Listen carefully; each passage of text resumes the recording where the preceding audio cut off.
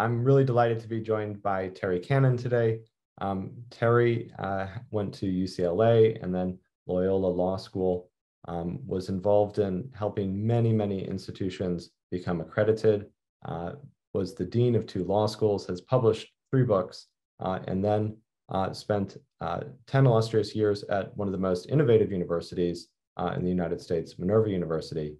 Um, Teri, it's a real pleasure. Thanks, Josh. I'm happy to be here with you today. Um, tell me about the roles that you had at Minerva. Um, you've been with them since the very early days, mm-hmm. um, you know, a, at least a decade there. What have you um, done in that institution? Because you've really helped architect uh, who they've become from an accreditation perspective. And I skipped over it, but you are also executive vice president at uh, what I anecdotally call WASC, um, but you can correct to their, their proper legal name. Thanks.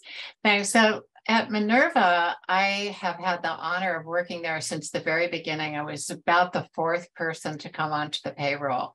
So initially it was Ben Nelson and three engineers and then me. So I was the first academic. And uh, I started there because I, I met Ben Nelson, who was trying to figure out how to get Minerva accredited before he had graduates, which is a prerequisite to regional accreditation. We can talk about that more later if you would like. Um, and so I met him and then helped to develop what the model would look like over time. So I was the one who knew what a traditional accredited institution had to look like in order to get and keep that accreditation.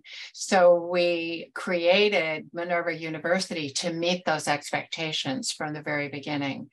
Uh, and we hired within uh, months of my being retained Stephen Kosslyn, who was the initial dean. I know that you know him very well, and, and he also is interested in what you're doing at Woolf.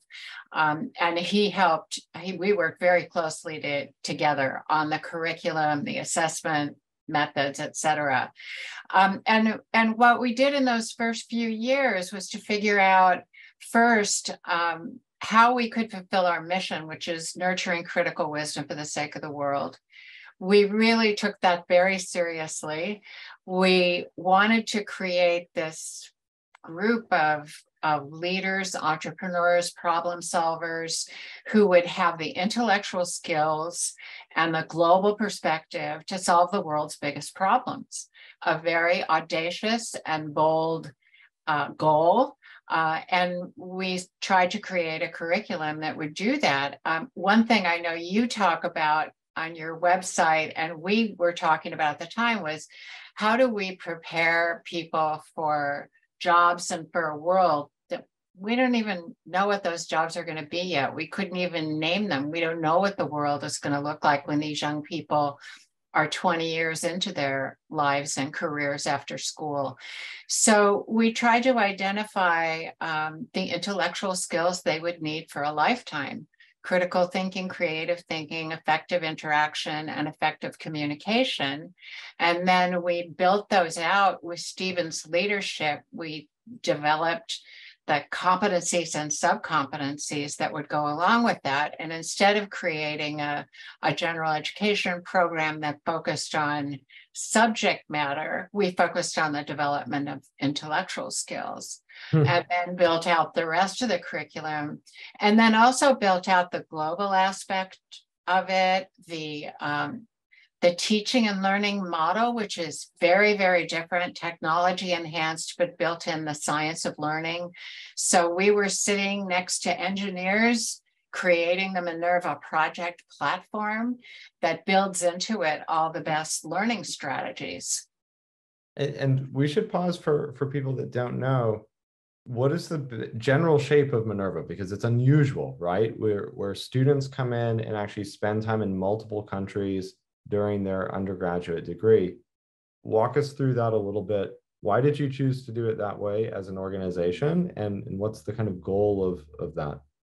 Well, you know, the the goal fits the mission, nurturing critical wisdom for the sake of the world. We sought out from the very beginning to have a global student body because we see that global problems have to be solved with a global perspective, global understanding, global competencies.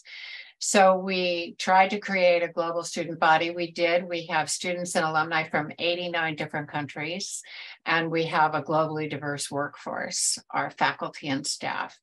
We also wanted them to experience multiple countries and not to stay cloistered in one place for four years.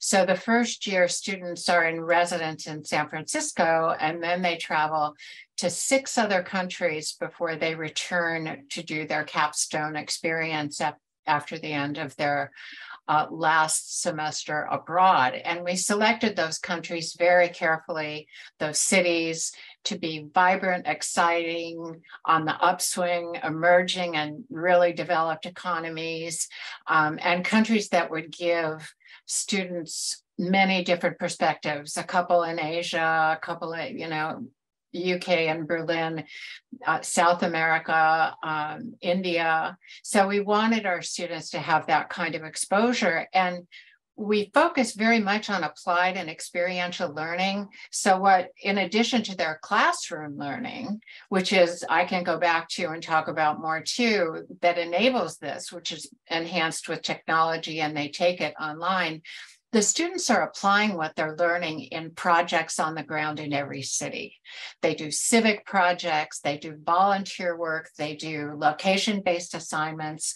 So they're seeing, for example, the issue of sustainability in seven different countries and how seven different cities and countries handle those challenges and how, and the commonality and the uniqueness of those challenges as they present in each country gives them a completely different worldview as they step out into the world when they graduate.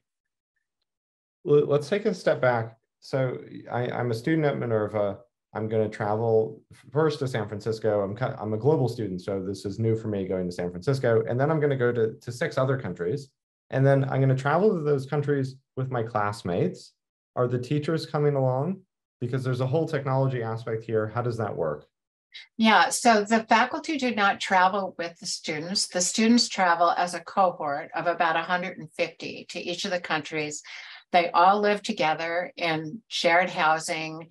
They're in dorm like facilities or apartments, whatever is a, appropriate uh, for the location that they're in, but together. There are local staff on the ground that help them to do the cultural immersion and the projects in the cities. The faculty are teaching their courses on our technology platform, which is a video based uh, very uh, highly sophisticated system that has built into it all of the best strategies for learning, but also all of the assessment, all of the formative assessment that reports back to students on their dashboards, et cetera. So it's a, a highly evolved system and the classes are small. There are only, um, there's a maximum of 20 in a class, 15 to 20.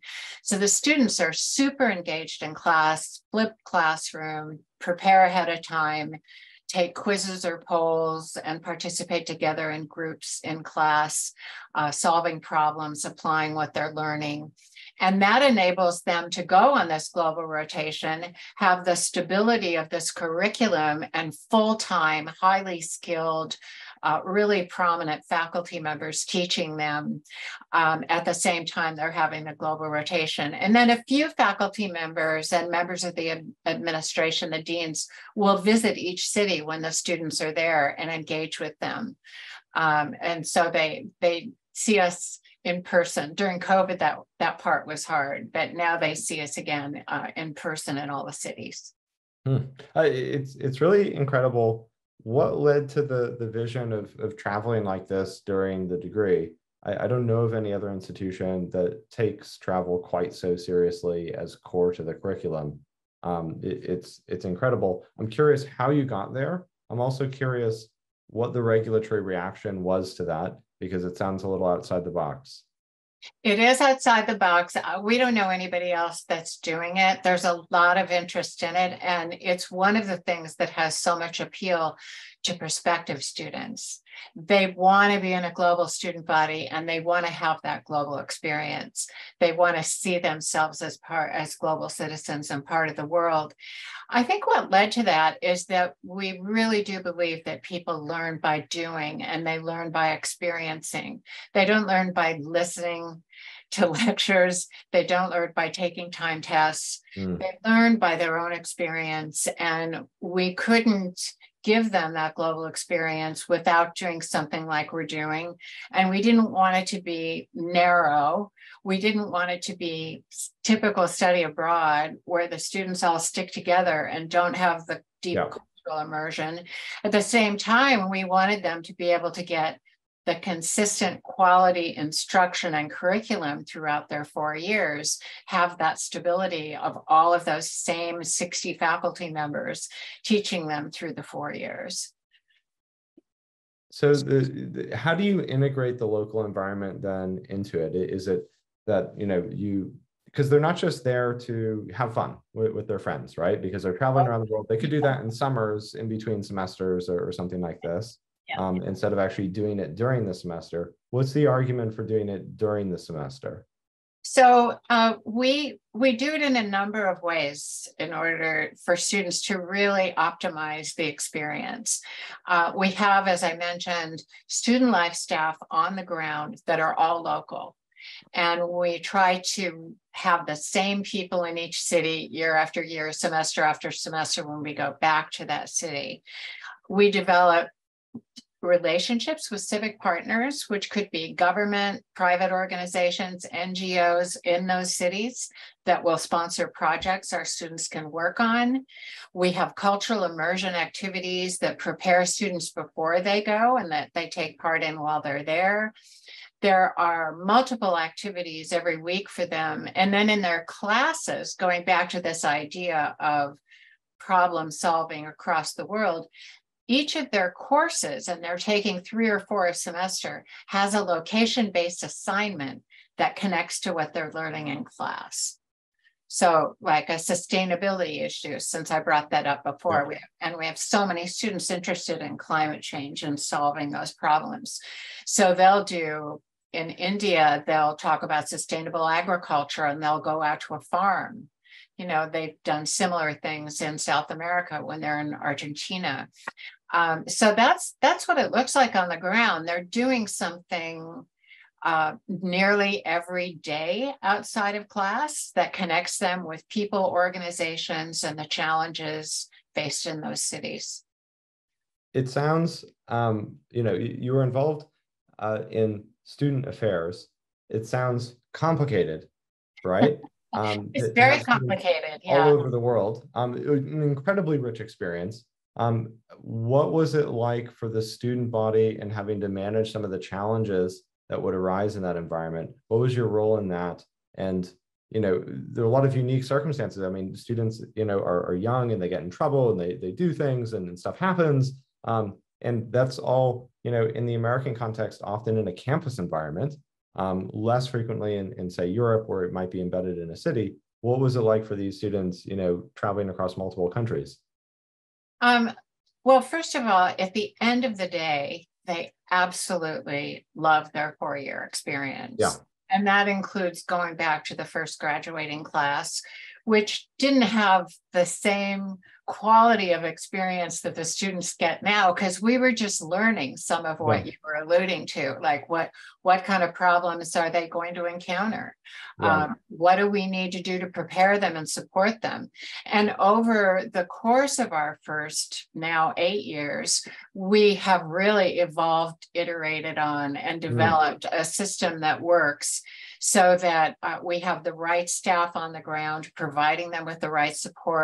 We have the right preparation for them so that they can optimize these four month timeframes in which they're there.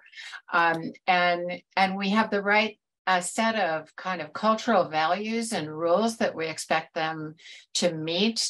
If they can't meet those, um, we find out in the first year when they're in San Francisco when yeah, they're yeah. first year students and then we're able to counsel and work with them or they might decide that they're going to leave yeah. um, or you know, most of the time students stay. We have a more than 90% retention rate because we're so careful about how we pick them, which is another element of it. We try to pick students that have grit, that are adaptable, that are resilient. And then um, we have something we call integrated learning outcomes, which have to do with the growth and development we expect of them in school. And it helps to prepare them for the global rotation. So one of those integrated learning outcomes is self-management wellness. So in the first semester, we focus on helping them to learn how to take care of themselves. We don't have a meal plan.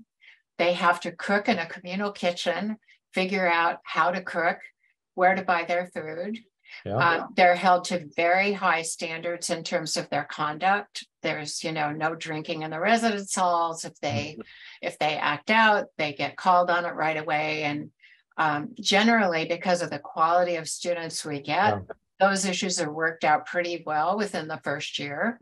Mm. Um, but it is a complex thing that we're doing takes a lot of very dedicated people and a lot of logistical complexity that we're dealing yeah. with day in and day out. We have, you know, mental health professionals they can access 24 7. Um, we have, you know, staff that live with them in each of the places where yeah. they're living. So they get a lot of support. And I should mention, um, one of the things I, have really admired about Minerva is precisely the graduates. Uh, the graduates that I know are from the very early classes um, and many of them have this uh, perspective of, of having co-created Minerva as they were going through it. Um, and I know some of them because, you know, Woolf University is involved in the ed tech scene. And right. um, we come across lots of people from Minerva who were formerly students and have now graduated many years yeah. later. And it's always really impressive to see how they dealt with their student experience as something that they were helping to create as a kind of adventure of very high quality people uh, working on something innovative and you know now have kind of a passion for ed tech um, as an industry. So really interesting to see. Um, how did how has it gone? You know, what what's been the regulatory journey uh, that you've been on? Say a little bit about the work that you've done on the side of the fence as a regulator, but then also um, switching sides of the fence and, and bringing Minerva through the regulatory process. Sure, sure. So um, I started out doing accreditation work as a peer reviewer in the 1970s. And I've worked on the staff as either a consultant or a vice president in four different accrediting agencies, or, or actually a commission member in four different agencies. And uh, right before I came to Minerva, I was with WASC, which is the Western Association of Schools and Colleges which has three commissions. And I work for the Senior College and University Commission, which is four year colleges and above.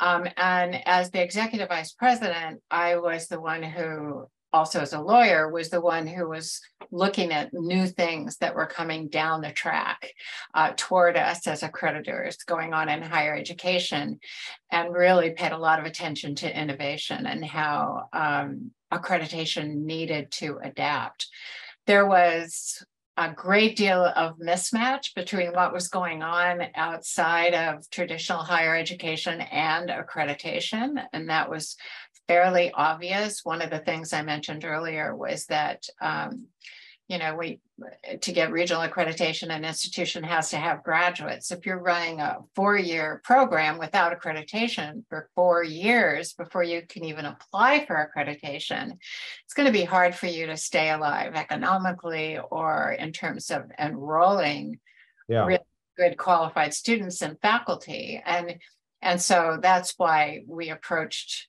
it differently when we started Minerva. Hmm. Um, mm I would say also that accreditors not only have their own very entrenched rules and regulations to deal with, but they're controlled by the Department of Education in the US, which is another whole layer of regulations that they have to keep, whether they'd like them or not. Um, and an example of that that you and I have talked about a little bit is the way that the Department of Education treats and views distance education using a definition of student and faculty aren't in the same room together, it's distance education and therefore requires a higher level of scrutiny um, and oversight. So, uh, you know, the other thing is that that I should mention is that in addition to having to wait till you have graduates, it then may take a year or two to get candidacy for accreditation and then up to another five years before an institution is fully accredited. Yeah. So the system is slow. It's uh, it's a good quality assurance system, but it's not perfect and it's not designed for things that uh, need to be done right away in order to adapt to needs of prospective students, needs of the economy, needs of the corporate world, employment needs out, out in the world. Um, so I was there for six and a half years. And then on my on the last day that I was working in accreditation, Ben Nelson, the founder of Minerva, came into Minerva and someone told him, You need to talk to her because she can help you get accredited. Um, and then the way that we did that was that we created an incubation model. Mm-hmm. So we knew we wanted to be highly selective and get really qualified students because yeah. we're talking about the Olympic athletes of higher education, right? So we knew that we needed to be accredited to attract those students and also attract the amazing faculty that we've been able to draw to Minerva, and we couldn't do it as an unaccredited entity. Yeah. So we decided to partner with Keck Graduate Institute, which is um, a graduate only member of the Claremont Colleges, the seven very prestigious Claremont Colleges in Southern California. Keck was the newest of the seven, very entrepreneurial itself, very focused on a lot of the same things that we were active learning, use of technology, preparing people for life skills and jobs on top of giving them the intellectual backbone to do all of that. And they loved what we were doing and they created Minerva Schools at KGI, which was a a place on their org chart with their other mm-hmm. at the time two schools and they exercised oversight of us until we became accredited on our own so from 2013 to, to 2000 mid-year 21 um, they were our board they were our president uh, we worked with their faculty. I was on several committees there, uh, and they were our partner. And then we went out a couple years prior to that when we were eligible since we had graduates and applied for and got accreditation on our first visit. Yeah, uh, it's really just fantastic. Um, it's a long journey. It's a, a deep, deep investment to make. Um, we, uh, you know, in the United States context, it's relatively clear that accreditation is tied to funding and loans and so on for US students. We have a very international student base. And so setting aside the, the question of US government support, why should I, as a student, maybe coming from abroad, care that the institution is accredited? Um, let me say one thing before I answer that directly, and that is that Minerva didn't do this for financial aid. We do not use Title IV funding yeah, from the yeah. US government. Um, and we only have right now about 12% US students. There's yeah. no country that dominates. So the reason that someone should care about accreditation with a small a, because yeah. I'm not mandating any particular kind of accreditation, is that uh, it's a quality assurance process. And what you do at Woolf is very, very rigorous. Um, and what, what WASC and most other accreditors do is too. Um, not all of them, some of them have failed and not done a good job.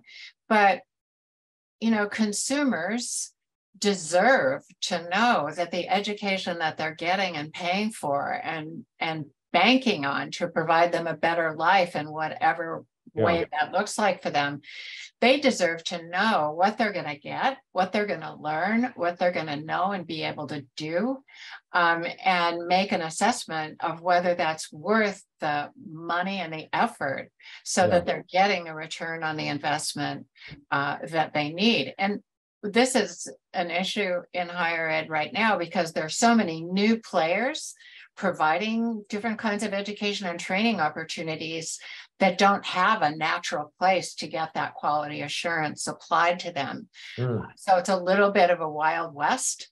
Um, and that's one of the reasons why what you're doing and others are doing in trying to create new accrediting agencies and ways of getting uh, formal quality assurance is, is very, it's very heartening to know that there are efforts out there to do that. Um, my understanding is that you know there's there's a huge kind of learning curve that an institution goes through the first time they become accredited and that really does increase the quality and then there's this fairly heavy burden of ongoing monitoring and, and quality assurance that follows thereafter, um, which also increases and maintains the quality of what's happening. Um, sometimes there, there are rules that come with that that can be harder for some organizations because they maybe are more opinionated about what needs to happen during the learner's journey. Um, I, I, think probably general education requirements is an example of that. Um, so there's a proliferation of boot camps that are very highly specialized in some cases, they're doing really advanced um, computer science studies or, or, things like this, but they definitely don't have gen eds, for example. Um, you know, what's what's the role of of this kind of burgeoning gray area where many people are spending a lot of their time learning outside the formally accredited environment now, doing things like boot camps, and then there are real constraints on the accredited space um, to offer programs without gen eds, for example.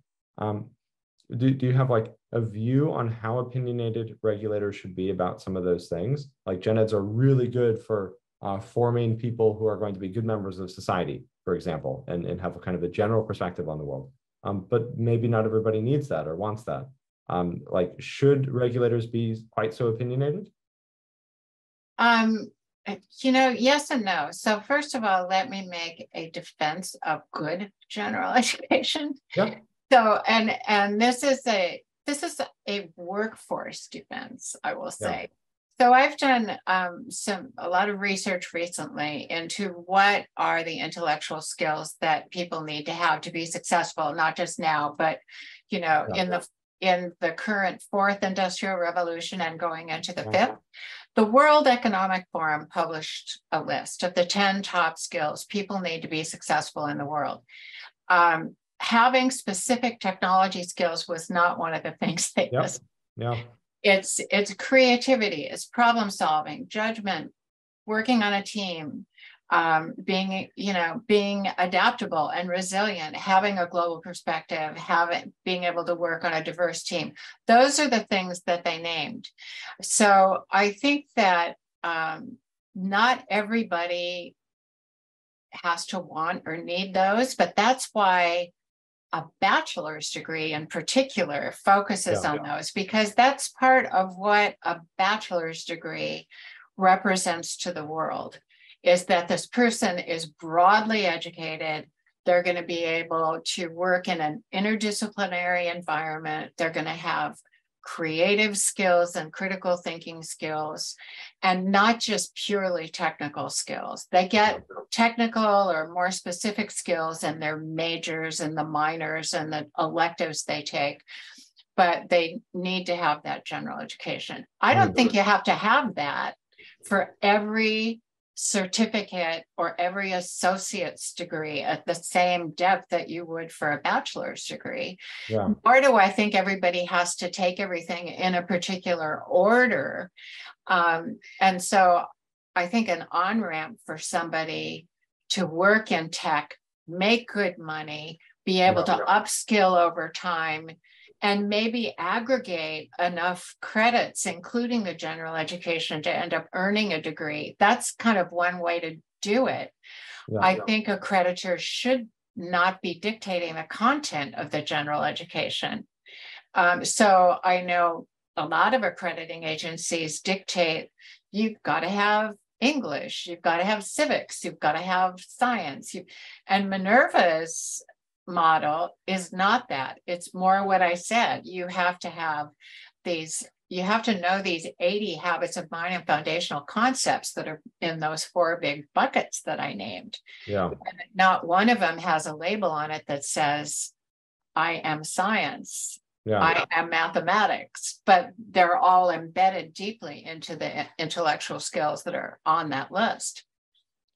You know, um, I've spent my professional career outside the United States for the most part, and, and on faculty at Oxford and the University of Edinburgh, um, both institutions that don't have any general education requirements. And so the students um, end up being very, very specialized. And so I'd often have American students coming in their second year um, joining the classroom with uh, European and British students. And um, you know, my anecdotal observation, of course, is that the Americans had a lot more to say about a lot of things, and many of them had completed their their gen eds, right? And yeah. so they they had a pretty broad perspective on things. They were not nearly as specialized going into their special second year as, say, the the British and European students who had yeah. maybe even begun specializing in you know the last year of high school. Um, and so by the time they finish a, a three-year undergraduate degree, they actually know more about a, a, given topic that they've specialized in than somebody doing a four-year um, undergraduate degree in the United States, but they don't have the, that general education piece in place. Uh, it's an interesting trade-off, right? So if it you're is. just learning yeah. skills, um, you know, they're going to expire.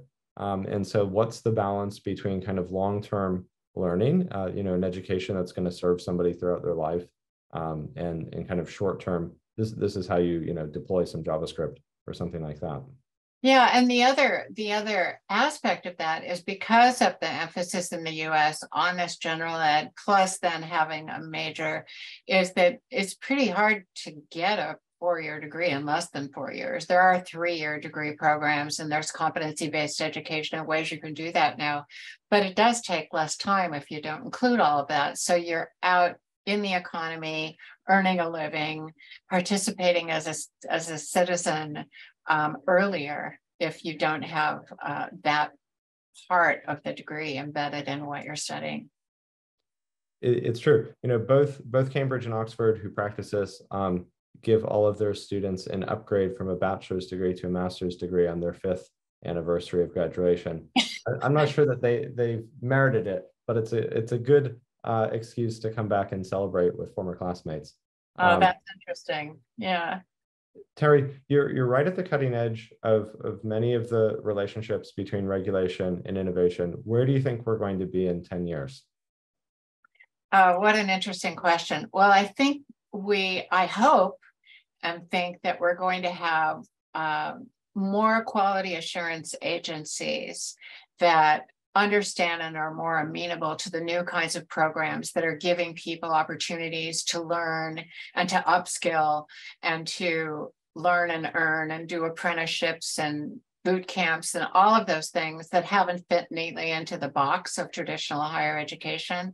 So I see a number of efforts, including organizations like Woolf, but also attempts to create new accrediting agencies, quality assurance groups, um, and I hope that they're all firmly part of this great system that we have of many different ways to enter and get a higher education and benefit for your life after that and benefit for the economy and the world.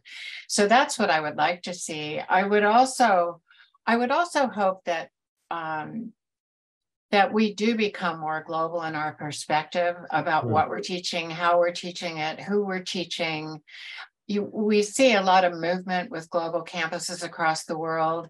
Um, up until the last couple of years with COVID, many more institutions were trying to internationalize. They had yep. something in their mission statement or their strategic plan about, about that, either bringing students here or having study abroad. I hope that that continues because I really do believe even more now that I've seen uh, what our alumni can do and what's going on in the world. That uh, that global perspective is how we're going to make the world a better place. Mm-hmm. Um, big problems get solved by groups of diverse people from different places coming together um, and having different perspectives and creative approaches to problem solving. So I hope to see more of that too in the next decade. I certainly think students are going to be more mobile. I, I have to agree on that one. Of course, um, Woolf's mission is to make world-class higher education more accessible uh, and to ensure that the credits are, are globally recognized. And, and that involves a lot of complicated work under the hood. Um, Teri, it's a real pleasure. Thanks so much for taking the time. um, you know, I'm delighted to have been able to learn a bit more about what you've been up to. Thanks, Josh. It was really a lot of fun talking with you. Take care.